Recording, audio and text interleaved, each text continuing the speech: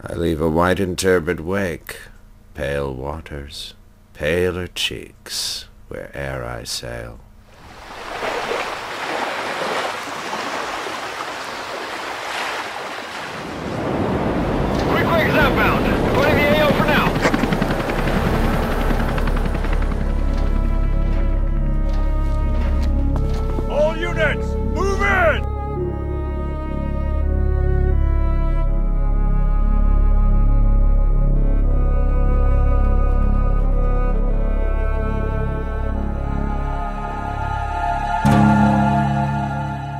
Of all the characters in Hideo Kojima's series Metal Gear Solid,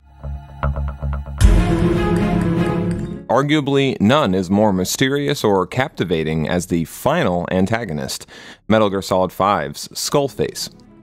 Wouldn't you agree?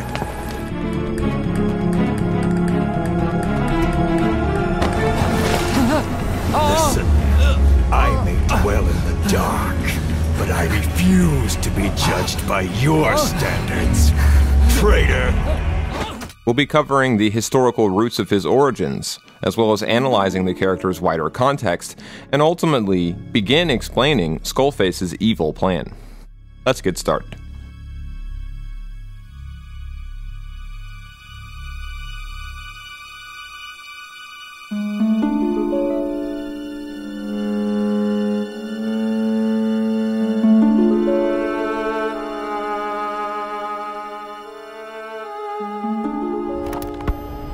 Dug up some interesting facts about our skull-faced friend.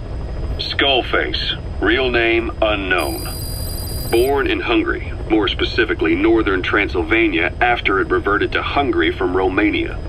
While he was young, the country allied with Germany as part of the Axis powers, but later during the war, it came under Soviet occupation.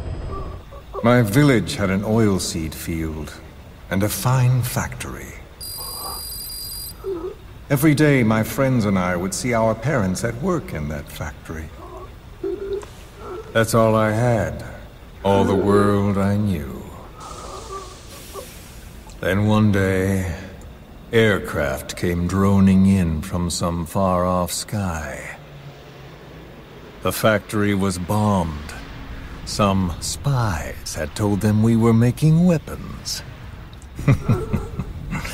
Those spies reported well. We made weapons, all right. As cartloads of rifles came in from the battlefields, we fixed them up and sent them back out. So our country could win. Or rather, so that little world we knew could continue. The building burned. We tried to flee outside. The crowd blocked the exit. The crowd of people. Hot. So hot. I tried to push through their legs and get ahead, but a boot in my stomach put me on the ground. The smoke of them burning filled me up. I heard my name called, but not for long.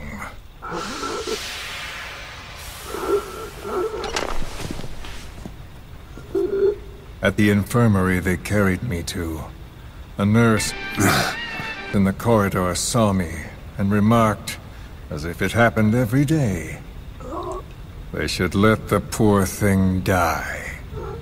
Don't you die on me, damn it! He be dropping! Intubate now. Cardiff! Those are the only words of my mother tongue I remember.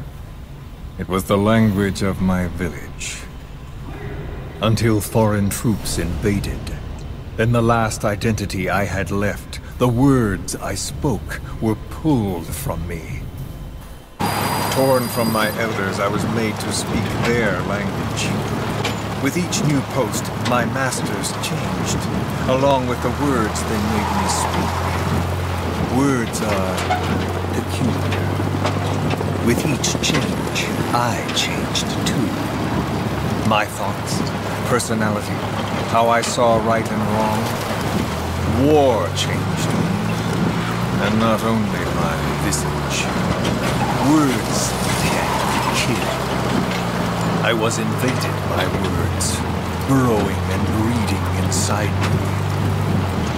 A philosopher once said, It is no nation we inhabit, but a language. Make no mistake, our native tongue is our true fatherland. My fatherland, my truth was stolen from me. And so was my past. All that's left is the future. And mine is revenge. On those who leech off the words of their fellow man. As a boy, Skull Face's life went up in flames. Perhaps that is what fuels his fixation with fire. The Hungarians struggled for independence, but the Soviets came down. Hard. Just like he said, time and again the country was ruled by a foreign tongue. When he was a young boy, he lost his native language, the bedrock for any developing child. His country, his family, his face, his identity, everything was stolen from him. All he had left was his skull. Skullface first tried his hand at espionage during all the chaos from the war. Agents, military officials, and soldiers who operated out of Hungary during the war vanished over the course of several months. This Soviet spy hunt rocked the counter-intel world. Mysterious fatal illnesses, accidental deaths, drownings, people having strokes behind closed doors. Just like Stalin, no one knew who was behind it. But all you need to do was look for who had the motive. They were all taken out by a man without a face. And now we've got an idea of how he did it too. My skin would never feel anything again. This face would be burned again, in torture, at foreign hands. But I, I still writhe in that burning factory doused in scalding rapeseed oil. That's all I have to feel. That pain. All I have to remind me I exist here.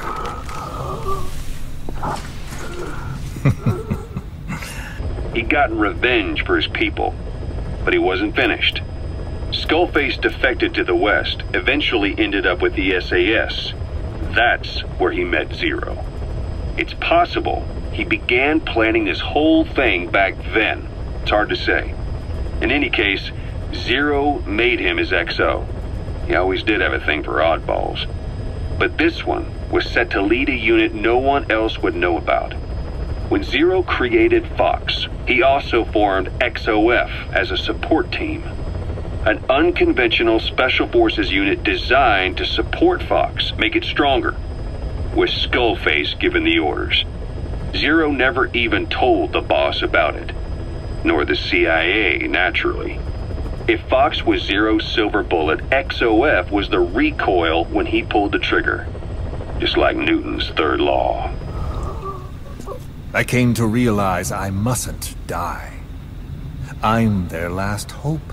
All those who perished and left me here. I have to accomplish something. If I don't, their will will be swept out of this world.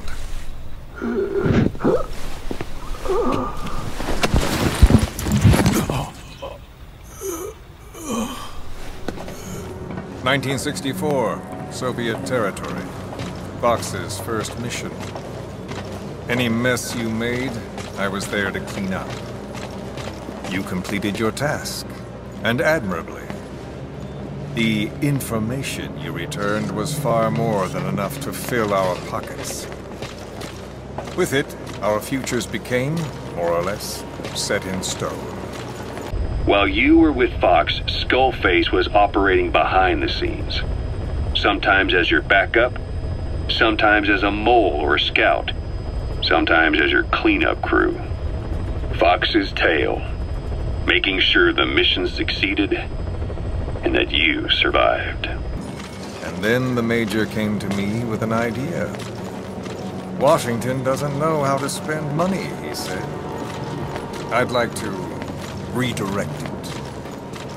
His goal was an organization dedicated solely, covertly, to supporting America. Cipher. Once upon a time, there were two young men who idolized a hero called the Boss. One day, they suddenly lost the point of origin. This Cipher, that was like a mother to them. Unable to come to terms with their sorrow, they each decided to carry on the will of their hero. But they could not agree on what that meant. In the end, they became bitter enemies, and the zero from which they both started was split into two. East, West, First World, Third. It was only a matter of time before someone took you down. And that was XOF. Officially, they're an anti-terror unit under the CIA. In reality, they're Cipher's private strike force. They lured you to Cuba using Chico, the Nicaraguan revolutionary kid, and Paz, a mole who worked for Cipher as bait. While you were gone, XOF, posing as a nuclear inspection team, stormed Mother Base. At the same time, C4 they placed on the strut legs went off. The whole thing went down in minutes. XOF. Kisses and hugs followed by a big FU. All because of Miller's blind spot. A back door into Mother Base no one suspected. You remember a certain scientist. Huey was responsible for bringing the inspection team on board, giving the enemy a perfect opportunity to hit you at home. You were returning from Cuba when it happened. Mother Base came damn close to taking you with it into the Caribbean. Those of your men out on assignment returned right away. They refused to believe the wreckage in the water they found was Mother Base. But they checked the coordinates again and again until reality finally settled in. You were supposed to die that day. That was XOF's primary objective. As far as most folks know, you did. The first doctor to see you wasn't even sure what he was looking at. Before they'd even finished operating, your men moved you to that hospital in Cyprus. It was a woman named Eva who arranged that. Rings a bell, hmm?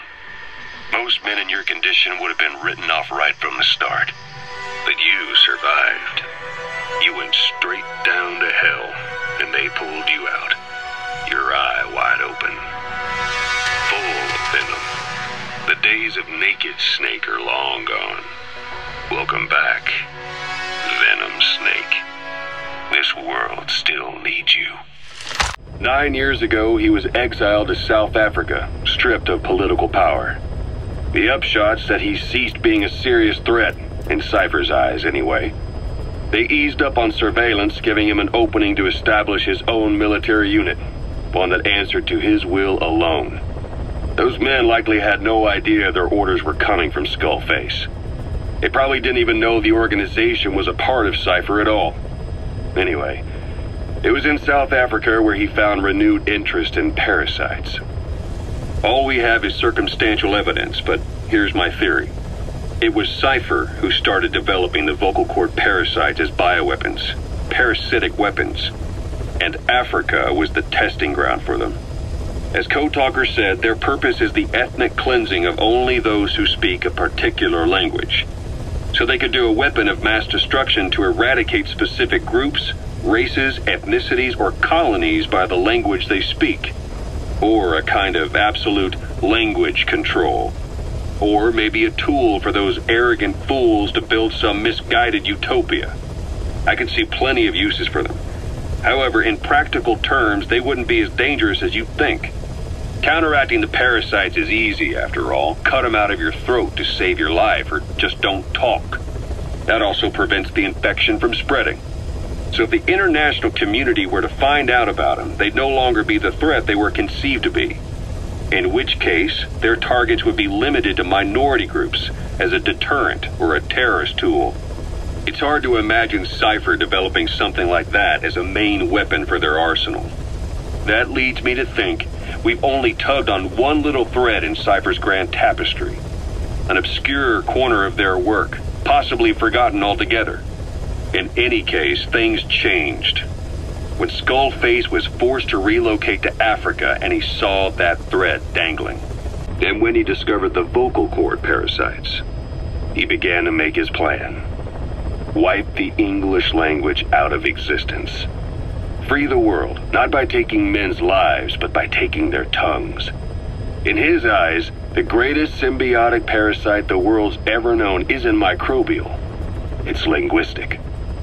Words are what keeps civilization, our world, alive. The idea to have an AI act for Zero came about in 74, when the data from the mammal pod penetrated NORAD. Clearly, an AI couldn't be allowed to make its own decisions.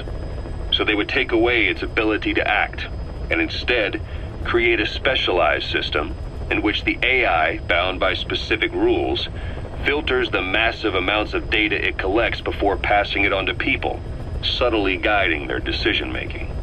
A system of the people, by the people, for the people. So they began researching how to do it. It's called the Patriots. It's all about ensuring that the concepts driving society appears the same in the mind of each person in that society. About maintaining the identity of the individual, and yet having that individual willingly make up part of the whole. I guess it's fitting to call that patriotism. Creating a united world.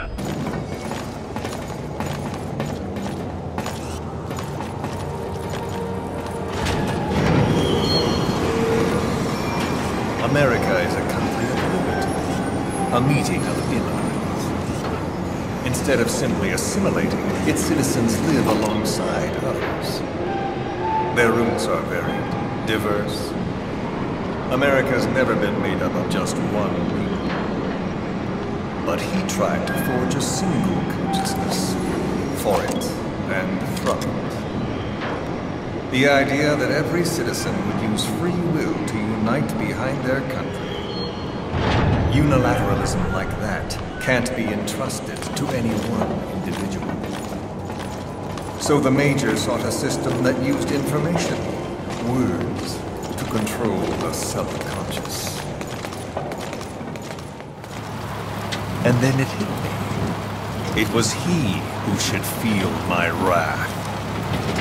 He and the code he chose as basis for control. Language codes, information codes, beamed all around us, genetic codes spanning history. By controlling the codes, Cipher Zero intends to unify codes implanted into our heads, sucking our minds dry as it spreads from one host to the next a parasite upon this earth. That is what Zero is. As one born into this world, he's afflicted. I hold him responsible for killing my freedom. Killing all traces of my past. Killing any promise of a future. We are all but dead men forced to walk upon this earth. A world reduced to zero. Cipher plans to use its codes to control the world. They think they can. And the mother tongue of all those codes is English. The word became flesh. The final parasite. It knows English. An English strain of the vocal parasite. I will exterminate the English language. With this, I'll rid the world of infestation. All men will breathe free again, reclaim their past, present, and future. This is no ethnic cleanser. It is a liberator. To free the world from zero. Let the world be sans lingua franca, the world will be torn asunder. And then it shall be free. People will suffer, of course, a phantom pain. The world will need a new common tongue, a language of mucus.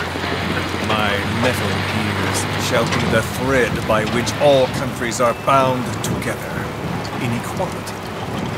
No words will be needed. every man will be forced to recognize his neighbor. People will swallow their pain. They will link lost hands. The world will become one. This war is peace. Skull Face forced me to turn parasites into weapons.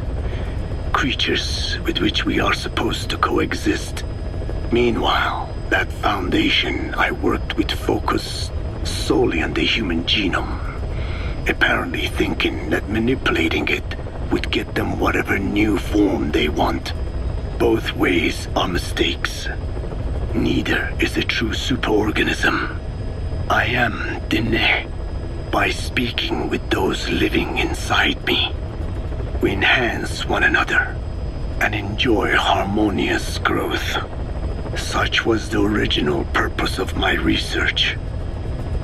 You have made me remember this. well, it's an honor. You can travel the world, but you won't find another place like this. If the whole world was like this base, I think the peoples of the world would bid farewell to fighting for good. Maybe that's what the boss wanted in the end. We only have his word to go on, but Skull Face's goal was revenge against those who'd use language to subjugate people. Those corrupting a people's identity by forcing a new tongue on them. Those using the power of language to control information. Naturally, that set his sights on Zero. To Zero, English was simply the most convenient code. But to Skull Face, English was a parasite. And by eradicating it, he'd stop the world from being eaten away.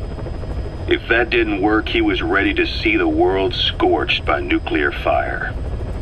To save language, culture, and race from annihilation, he was willing to overstep the hands of the doomsday clock. That is, of course, if you believe anything he had to say.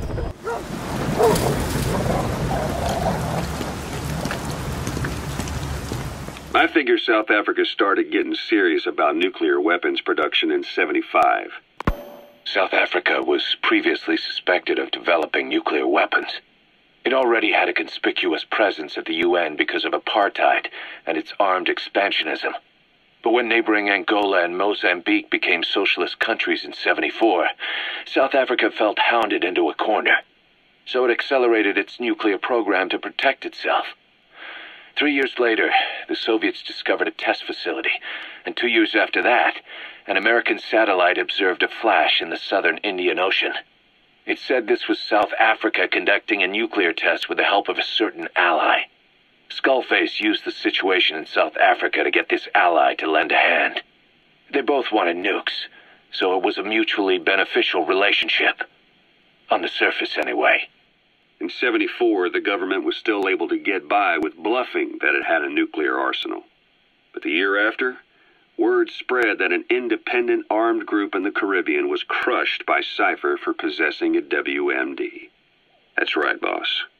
What happened to you and your men was the reason South Africa decided to push ahead with nuclear development. A force independent of any country getting its hands on a nuke. That was a threat to the existence of countries everywhere. It wasn't just South Africa. Your presence pushed a lot of countries to get nukes.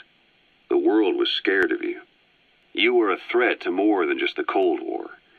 If nations are gears in a machine, you had the power to smash them loose and watch the whole world grind to a halt. Ever since the attack on your unit nine years ago, the name Big Boss has become known the world over. What do you mean? Those of your men who survived traveled far and wide. They fought throughout the world. In fact, they're part of the reason we have all these PFs now. Every one of them suffered their own phantom pain from losing you. Talking about you wherever they went helped to heal their wounds. Your actions and words, your legend, has been told on every battlefield they've set foot on. Obviously, as the tales have spread, the truth's been distorted, painted over. Big Boss sacrificed himself to show us the threat that Cipher poses. He sounded a warning, so it goes. A warning? Too much power destroys the hands that hold it. Apparently, you chose to be a living example of that. I never said any of that. The moment any truth is passed on, it starts turning into fiction. The problem is, fiction inspires people more than facts. To the world, you're now the legendary mercenary Big Boss. The lessons you've taught the PFs are the reason they're so widespread. They're the reason they've survived. And you know what they all aspire to? To one day go nuclear, just like you did, and stand up to Cipher. Of all the stupid things you could do. They'll never understand what you really wanted. Heroes are misunderstood. It takes a man of the same caliber to understand what drives them. Bottom line is, these guys want to be like their hero, Big Boss. And deep down, they all have their eyes on nuclear weapons. They say that a nuke is the only means of standing against Cipher. Skullface was forced to develop his English strain out of sight of Cipher's network. Naturally, he couldn't use the greenhouse facility Cipher had set up and filled with guinea pigs. Skull Face must have found some secret place to create his precious few English parasites, hiding all evidence like a man cheating on his wife. Somewhere, an entirely standalone environment. And when his plan entered its final phase, he must have made the place disappear. Some little room could be anywhere, but now nowhere at all. We'll never know where he did it, but to elude Cipher's surveillance, it couldn't have been big. I believe Skull Face was telling the truth. There were only ever three samples of the English language strain. Why activate Sahelanthropus in Afghanistan? This is how Skull Face wanted things to play out. The Soviet Union secretly develops a new type of nuclear weapon and successfully deploys it in Afghanistan. Revealing the existence of Sahelanthropus results in a return to the glory days of the Cold War. The threat it poses reignites the nuclear arms race between the world's major powers. The demand for nuclear weapons increases around the globe. What if you then introduced a nuclear weapon anyone could get their hands on? Non-nuclear nations, militant groups of all shapes and sizes, they'd all jump at the chance. Sahelanthropus was a marketing tool to sell nukes all around the world. But I think it's safe to say that plan was stamped out before it got up and running. The world's intelligence agencies never did turn up anything conclusive on it. After all, Sahelanthropus vanished before word could spread. Everything that's happened is already a fading memory, never to join the pages of history. Except for Cipher. Cipher won't forget. They'll already be working on something quietly beneath the surface. They'll use the pieces of data scraped together from this incident to build their own bipedal weapon. It'll take them a long time to complete it, but for now, the greed sector have found their new life's work. We'll have to be ready too.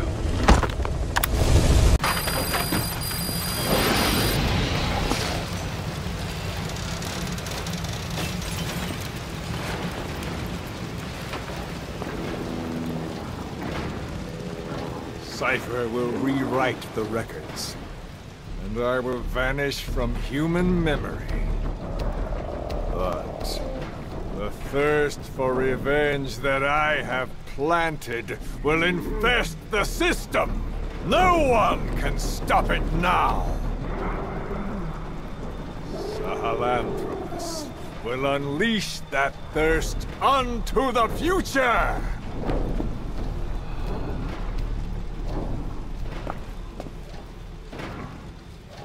Major... I'm burning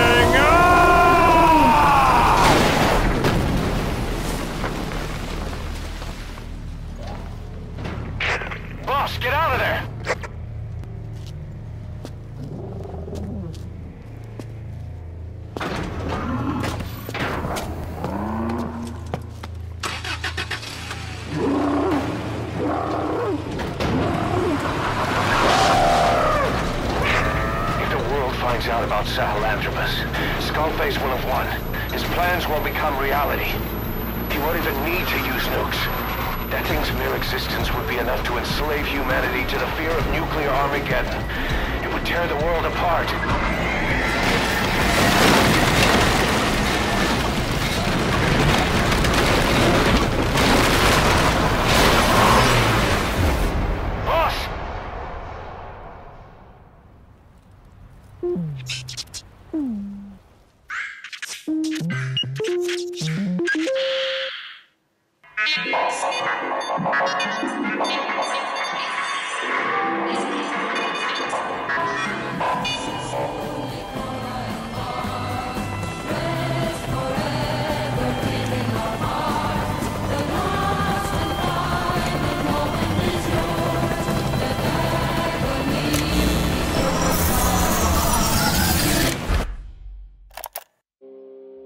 The character Skull Face seems at first a blank space, a non-entity whose existence is all but inexpressible in language.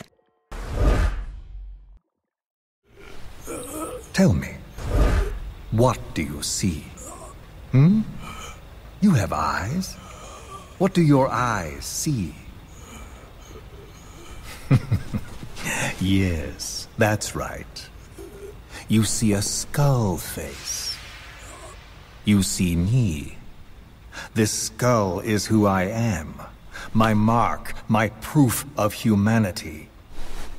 I have no country, no language. I have no face.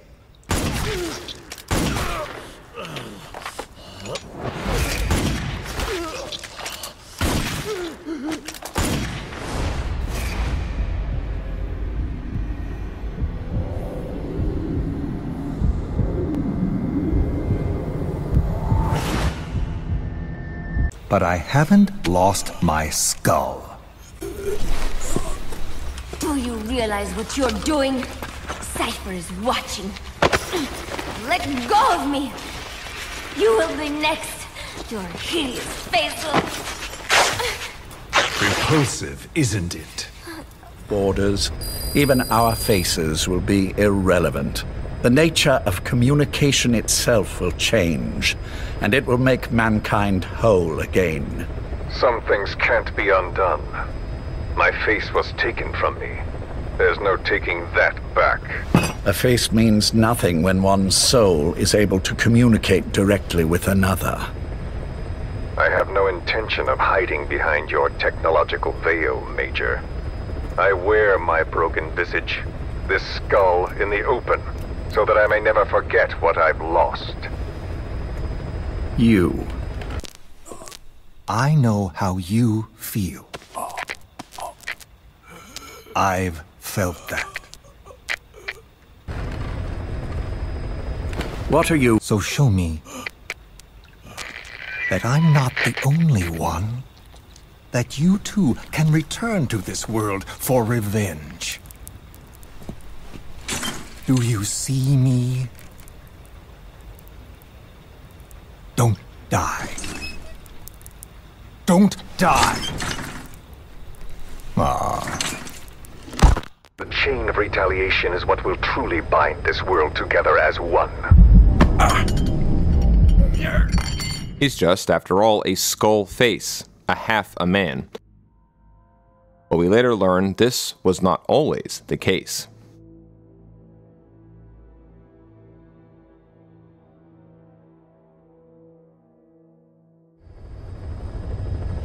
See now.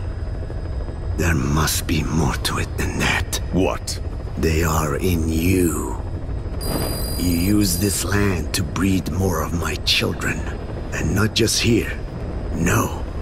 In pursuit of your ethnic cleansers. You sifted through many language strains, finding hosts, breeding more and more. You would have been infected in the process, infected with countless strains. Most likely your mother tongues as well. Romania, northern Transylvania. You found that one too. Yes, the Hungarian strain that responds to the Székelys dialect. Silence! Black Anna. It is you who shall pay.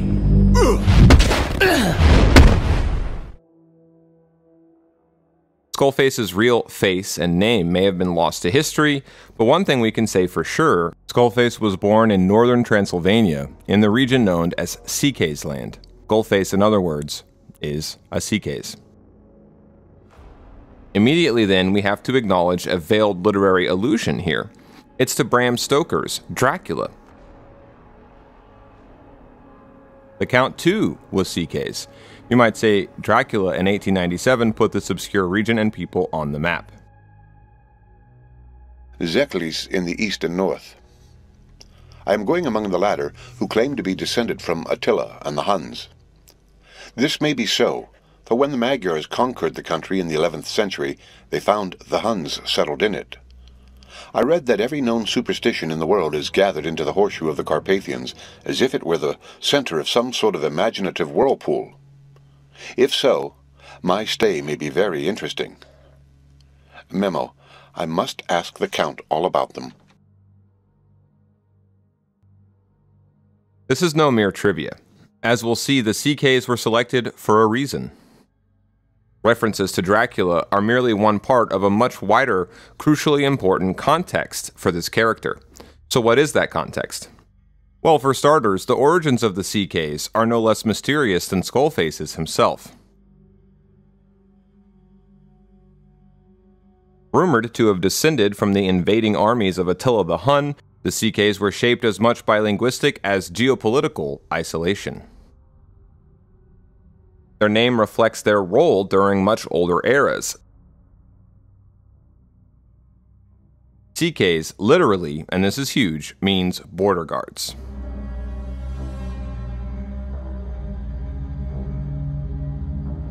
This exceptionally proud and independent people were forged in the fires of a form of warfare necessary for keeping the peace border patrol.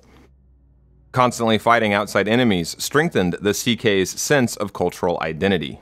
They are said to have remained fiercely independent in spirit even to this very day.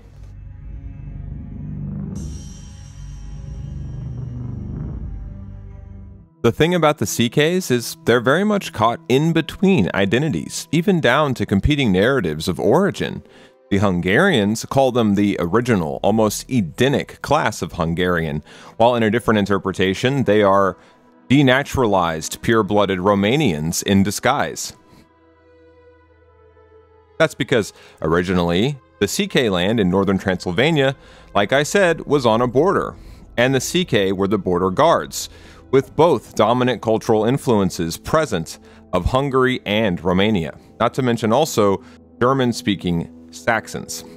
In general, this was more of the status quo before the rise of modern politics and its paradigm of nation states and nationalism. Not the absence of conflict among all groups but a fuzziness or messiness in terms of how identities break down within heterogeneous regions. But as a group, the Székelys were actually quite homogenous within their portion of northern Transylvania. In fact, many comparisons might be drawn here between them and, say, the Japanese. Like many groups in the region, the Székelys have a long and winding history over the eons. But in general, for generations, they had a status not totally unlike, say, that of the American whaleman. In exchange for risking the clash of bone and sinew along their military frontier, the warrior caste of the Székelys enjoyed greater rights and privileges, and in particular, independence. But it was here, on the subject of liberty and revolution, that, beginning in the late 18th and early 19th centuries, in CK land all hell broke loose. Swept up like many European societies at this time in the influenza like spread of enlightened revolution, which had for its patient zero America, the Székelys agitated for and then fought in a sweeping war over whether or not they would unify as a polity with Hungary, whether or not they would still receive the same privileges that they had historically enjoyed. It was partially out of this revolutionary struggle in the mid 19th century there came about a dual monarchy, and with it, the shared compromise of a so called Austro Hungarian Empire. Transylvania then just became part of the Kingdom of Hungary, while the long standing privileges that had been afforded to the exceptional Székelys were revoked in the name of equality. Before then, they had enjoyed existence as egalitarian and tax exempt, with moderate political autonomy of their own, including a somewhat separate administrative and electoral body. Their distinct cultural identity, though, had just been defaced in order to level the playing field and create a modern Hungary. This would not be the last time that the very identity of the Székelys people would become subject to outside influence. The predominantly rural region of Transylvania did not factor much into the concerns of the Austro Hungarian Empire. It was only when that empire collapsed in World War I, alongside the so called sick man of Europe, the Ottoman Empire, that ages old animosities and jealousies all over the world but in our case, between Hungary and Romania, quickly threatened to tear this region apart. Following World War I, Transylvania went from being a border region of Hungary to the straight center of so called Greater Romania with the Treaty of Trianon in 1920. Now, this concentration of Hungarian speakers in the heart of Romania would present a major problem. To quote Stefano Bottoni's 2018 book, Stalin's legacy in Romania, quote, besides the diplomatic struggle between Romania and Hungary for territorial possession of the Székely land, the region fueled a complex intellectual competition over the quote-unquote correct interpretation of national past and the ethnic essence of Székely-ness, end quote.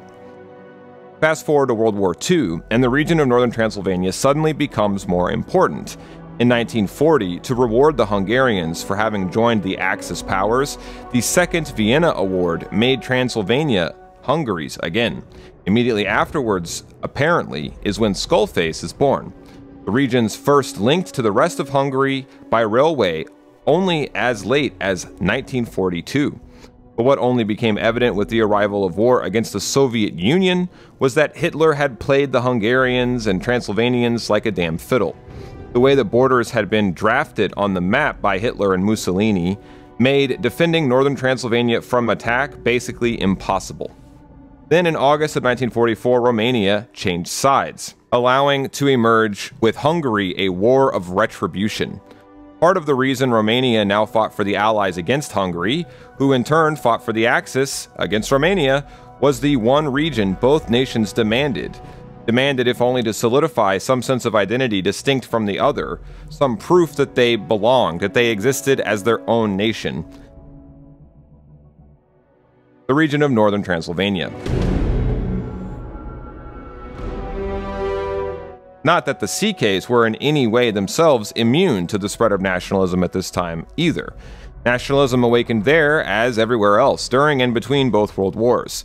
Take, for example, the curiously named Association of Székely University Students, or SIFA. Writes Bottoni, quote, This attempt at reshaping the collective identity put at the center the idea of serving the people by rebuilding the ethnic foundations of the Hungarian minority community Minority life was to become an everyday struggle to preserve a way of life and the minority's irreducible diversity. End quote. To quote the blog Europe Between East and West, quote, by the time of Stoker's Dracula, the Székely were little more than a unique cultural afterthought of the Austro-Hungarian Empire. They were a mystery in a mysterious land, surrounded by wild, dramatically beautiful nature, given to insular, obscure customs, and beholden only to their own traditions. The Austro-Hungarian Empire, predicated on a dual monarchy, was by the end of World War I coming apart. It was splitting along many fault lines, dividing many, many different ethnic and national groups, like the Székelys. The Treaty of Trianon split the region into new polities, redrawing its map. Suddenly, the Székelys who spoke Hungarian were part of Romania. You'll, of course, remember the opening of The Phantom Pain.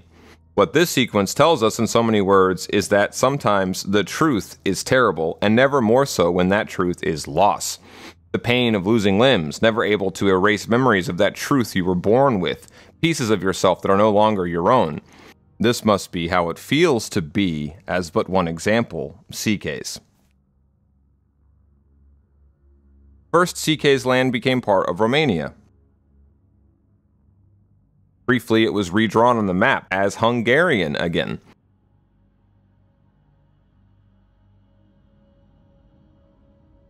Like much of Central and Eastern Europe, the region was passed back and forth from one ideologically extreme totalitarianism to the other, invaded and even reinvaded by the Nazis and the Soviets multiple times.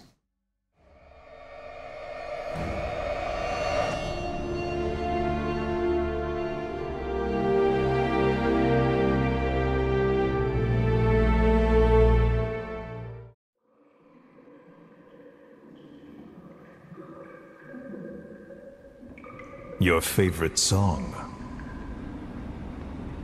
Nicola Bart. Immigrants wrongly executed. but their deaths served as a message to others. That ours is a society that murders the innocent. Do you too believe your sacrifice will change the world?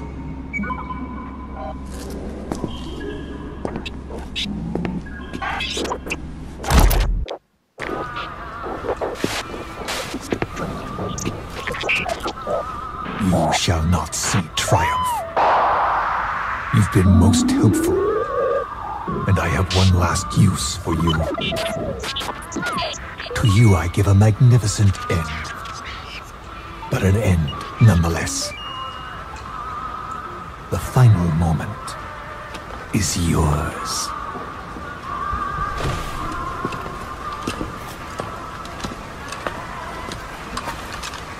Heard from the advance team. Everything's right on schedule.